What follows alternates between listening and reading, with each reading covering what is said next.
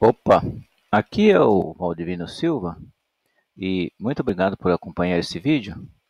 E se você não é inscrito, se inscreva agora e se já é inscrito, muito obrigado. E nesse vídeo eu vou mostrar para você como instalar o plugin é, DigDig, que é um plugin de rede social né, para acompanhar para quem entra no seu blog, né, se inscrever lá no seu blog, é, comentar e fazer, é, compartilhar, etc e tal, né? Então a gente vem aqui é, em plugins, né? Instalar novo, né? Adicionar novo. Vamos clicar aqui e vamos escrever aqui é, dig dig, né? É o nome do plugin. Opa, Dig Dig, né? Tá. Então ele vai aparecer aqui, ó. Então é esse aqui, clique aqui em instalar, né? Instalar agora.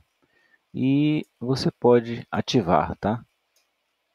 E vamos voltar lá no nosso blog, né? Como você pode ver, ele está aqui, ó. O Dig Dig está aqui, tá?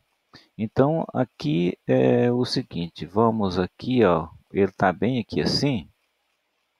E vamos entrar aqui em configurações gerais dele, né?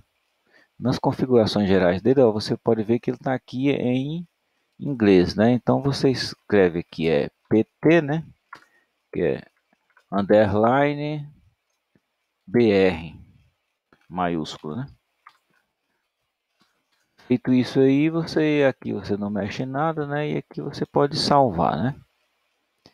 E como você pode ver, vamos clicar aqui em... Vamos clicar aqui nesse aqui, não precisa, não, precisa, né? Esse aqui é, é para ele flutuar, né? Para ele flutuar lá no blog, porque senão ele vai ficar estático, né? Então aqui, ó, você tem a opção de deixar ele somente nos posts ou nos posts e nas páginas, né? Então a gente pega e deixa nos posts e nas páginas, né? Você pode deixar nos posts e nas páginas. E feito isso, você é, pode clicar aqui em salvar, né? Você pode clicar em salvar. Tá? Então, você desce aqui mais um pouquinho, né? E olha aqui você as redes sociais que você pode é, autorizar, né? Eu, como é padrão, ele já vem aqui, ó. Você pode colocar aqui, acrescentar mais o, cadê o Facebook aqui, né?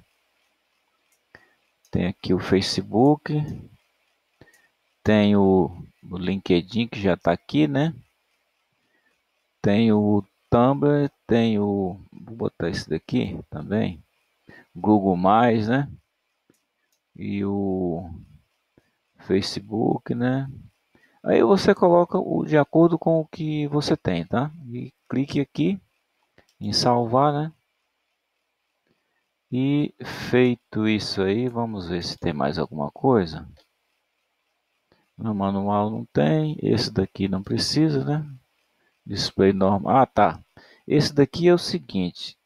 Se você quiser botar na home, na home quer dizer na, na primeira página. Se você não colocar, só vai aparecer dentro dos posts, né? Então você pode botar aqui na página, tá? E salvar, né? Salvar. E vamos dar uma olhada em nosso blog para ver como é que tá, né? Tá aqui, vamos visitar, né? Ó, como você pode ver, não tem nada, então vamos é, atualizar aqui para a gente ver. Tá? Você pode ver, ó, não tem nada, então vamos entrar dentro do, do artigo para a gente ver, né?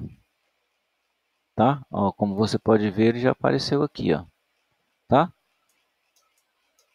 Então, se alguém clicar em um desses botões aqui, você vai, é, a pessoa vai é, compartilhar esse conteúdo, tá? Então é desse jeito aí que configura esse plugin. Então muito obrigado pela sua atenção, por acompanhar esse vídeo e até o próximo vídeo com nova dica. Muito obrigado.